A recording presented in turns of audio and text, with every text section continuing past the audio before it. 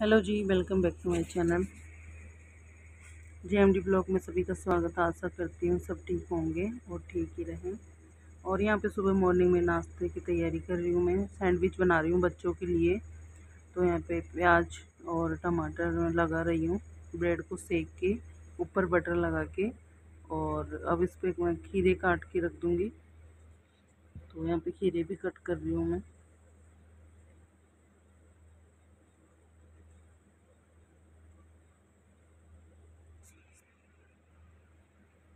और यहाँ पे खीरे लगा दूँगी अब।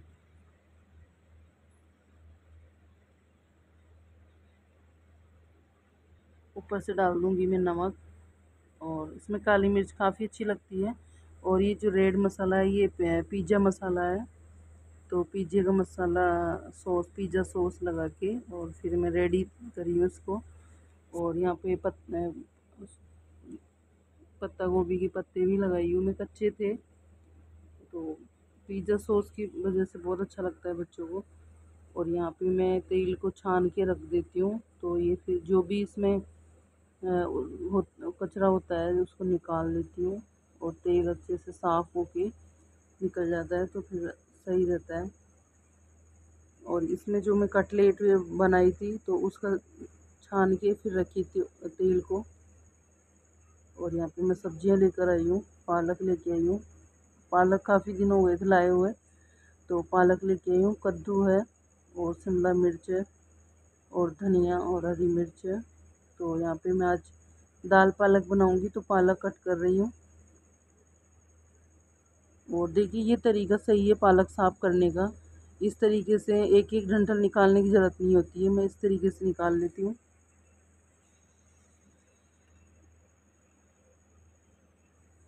तो यहाँ पे अच्छे से साफ़ कर लूँगी मैं, क्योंकि पालक में बहुत ज़्यादा कचरा होता है और उसके बाद भी अंदर जो ख़राब पालक होता है उसको भी मैं ज़रूर निकालती हूँ। एक एक पत्ते छाँट लेती हूँ। वैसे जो मोटे डंटल होते हैं उनको तो मैं, आप देखे होंगे भी मैं किस तरीके से निकाल दी तो ये आराम से निकल जाते हैं। लेकिन जो ख़राब गले हुए कचरा रहता है, पत्ते रहते हैं गले हुए तो उनको निकाल दूँगी और यहाँ पे अच्छे से कट कर लूँगी।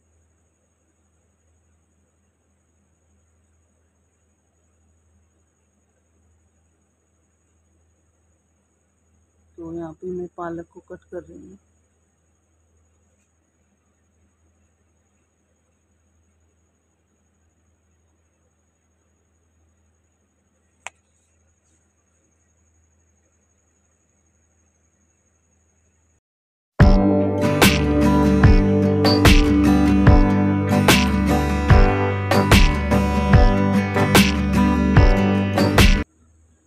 यहाँ पे पालक उबालने के लिए रख दी मैं और इधर दाल है इनको मैं वॉश कर लूँगी। सब्जियों को धो के रख दूँगी और दाल को सबको, एक तरफ़ कर दूँगी धो के और फिर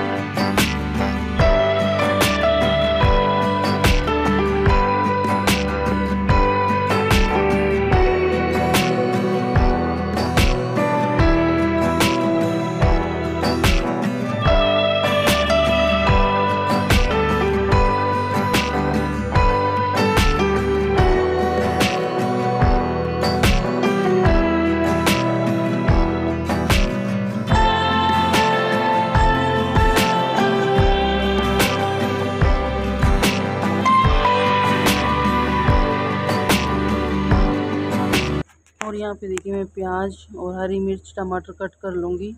दाल को दाल पालक को छोंकने के लिए। और प्लीज़ आप इतनी तेज़ चाकू नहीं चला, मत चलाना, क्योंकि मैं फास्ट मोशन लगा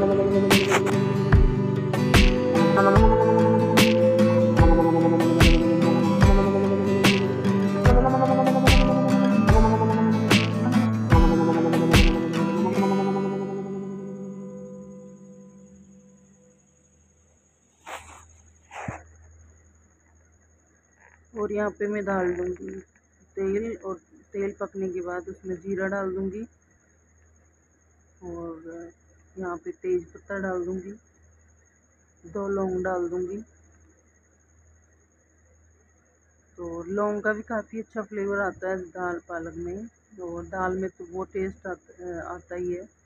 यहाँ पे डाल दूँगी साबुत धनिया और यहाँ पे डाल दूँगी मैं प्याज, लहसुन और टमाटर। और इसको पकने दूँगी मैं तेल में।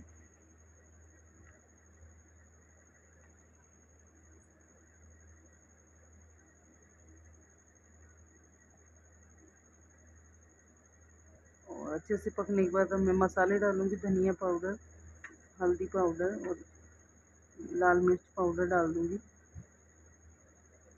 और अच्छे से मिक्स कर लूँगी।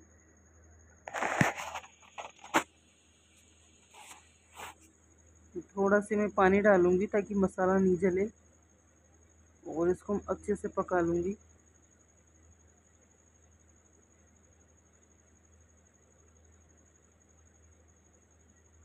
इसको अच्छे से पकने के बाद मैं उबला हुआ पालक को अच्छे से काट के और पीस के फिर डाली हूँ। क्योंकि जो वो रेसे से आते हैं ना, फिर वो मुँह में अच्छे नहीं लगते तो मैं अच्छे से इसको बारीक बारीक चॉप करी हूँ। या पीस भी सकते हैं, पीसने से ज़्यादा बारीक हो जाता है तो मैं वैसे ही चाकू से चॉप करी हूँ और उसको अच्छे से कट करके फिर यहाँ डाल दूँगी मैं दाल और फिर पानी डाल रही हूँ। तो पानी मतलब अच्छे से डालना होता है क्योंकि दाल भी इसमें उबलेगी तो इसीलिए वैसे दाल को उबाल के फिर बनाते हैं छोंक के और इस तरीके से भी बन जाता है। तो इस तरीके से बनाते हैं ना जब मसाले सारे अच्छे से मिक्स हो जाते हैं और उबली हुई दाल मैं नहीं बनाती उबाल के, मैं इसी तरीके से बनाती हूँ और यहाँ पे मैं लहसुन कट कर रही हूँ क्योंकि मैं ऊपर से तड़का लगाती हूँ दाल में, दाल पालक में तो अलग से तड़का लगाऊँगी मैं अभी घी में और यहाँ पे कट कर रही हूँ धनिया। तो बारीक बारीक मैं कट कर लूँगी।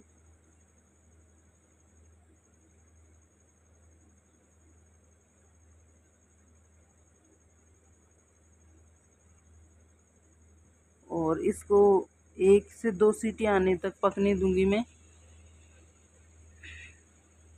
क्योंकि मैं दाल को थोड़ा लेट भिगोई थी, इसीलिए मेरे को दो सीटी लगानी पड़ी और ये अच्छे से पक गई है दाल। और यहाँ पे बहुत ही बढ़िया तरीके से मसाले एग्जॉब कर लेती है सब्ज़ी।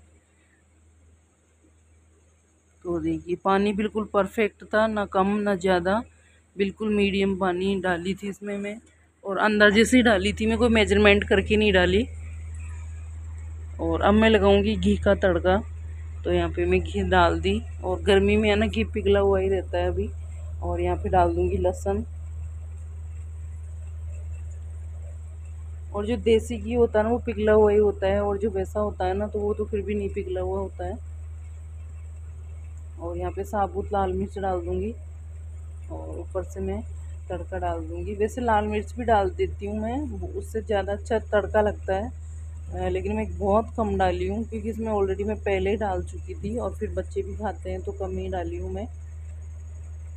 तो यहाँ पे ऊपर से इसका जो घी का तड़का लगता है, उसके बाद में इसका जो टेस्ट है, वो दुगना हो जाता है, और भी ज़्यादा टेस्टी लगती है। तो यहाँ पे दाल पालक की सब्ज़ी बन के तैयार है। और इसको दाल चावल के साथ, पराठे के साथ, रोटी के साथ बहुत ही ज़्यादा टेस्टी लगती है ये। और इस तरीके से बनाते हैं जब। और अभी डाल दूँगी मैं हरा धनिया।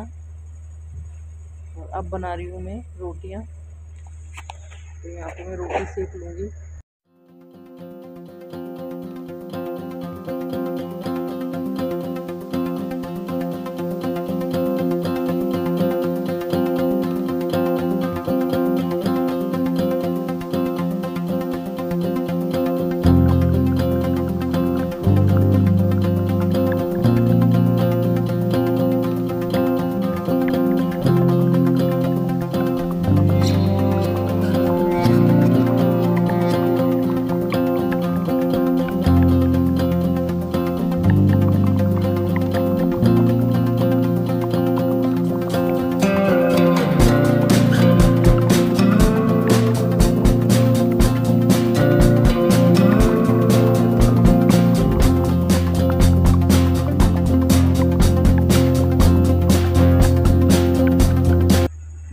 देखिए, मैं रोटियाँ बना ली, खाना खाएँगे। और इस तरीके से जो दाल पालक बनती है ना, वो बहुत अच्छी लगती है। और सप्ते में एक बार तो पालक खाना ही चाहिए। और यहाँ पे अगर आपको वीडियो पसंद आए तो लाइक, सब्सक्राइब करना। है जय माता दी।